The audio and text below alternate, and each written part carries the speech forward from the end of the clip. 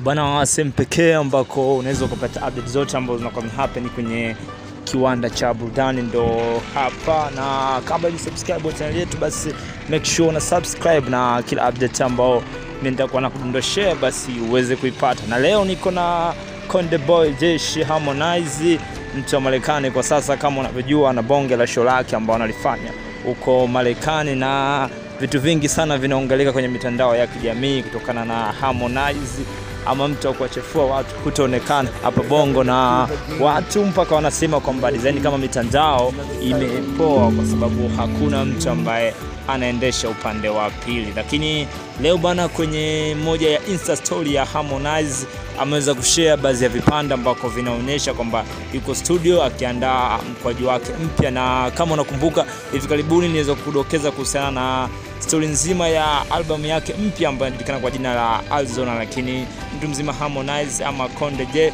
Konde Boy ameweza kuonekana pia akiwa studio na anaandaa mkwaju mwingine ama, na pia tunaweza tukasema kwamba hii pia inawezekana ndo mwendelezo wa ile albamu yake mpya ambayo inajulikana kwa jina la Alzona ambao alishare wiki kadhaa kwenye akaunti yake ya Instagram na pia kwa sasa pia ameweza kushare kwenye Insta story yake akionyesha yuko studio na baadhi ya maproducer kutoka nje, na inavyoonyesha kabisa kwamba hii album ama hii ngoma ambayo anaiandaa ina maana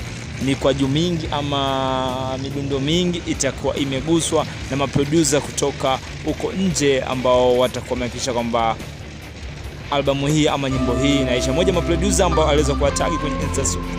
Insta, story yake ni mtu mmoja anaitwa Elana Lady Shark Music na Laz Lel Monkey. Hawa ni moja maproducer ambao wanafanya vizuri sana kwenye nchi za wenzetu, so mtu mzima Harmonize design kama alionekana yuko nao na kuweka wazi kwa kwamba labda kuna chochote ambacho tunaweza kuja kuanzia leo, kama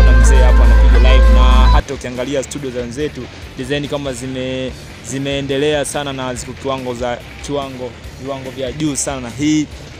inaweza ikamfanya Harmonize akaleta mkwaju ama akaleta track ambayo itakuwa katika viwango vya kimataifa, kwa sababu kama unavyojua Harmonize ni msanii ambaye kwa Afrika ama kwa Tanzania naye pia ni miongoni mwa wasanii ambao wanafanya poa. Hata ukiangalia baadhi ya show zake ambazo anafanya huko huko Marekani pia ni moja ya show ambazo zinahudhuriwa na mastaa wengi, zinahudhuriwa na watu wengi. Kwa hiyo ni lazima ana nafasi ya yeye kuweza kuandaa mikwaju mikali ama kuandaa biti kali, na ndio maana anajaribu kutafuta chemistry ya maproducer ama chemistry ya sound mbalimbali kutoka nchi mbalimbali, kwa sababu kwa sasa hivi Harmonize ana mafasi sehemu mbalimbali. Kwa hiyo kutokana na hii kitu ambayo anaifanya, na ndio maana hata ukiangalia maandalizi ya hii albamu ama maandalizi ya hii ngoma ambayo kwa sasa inasemekana ndio studio anaiandaa,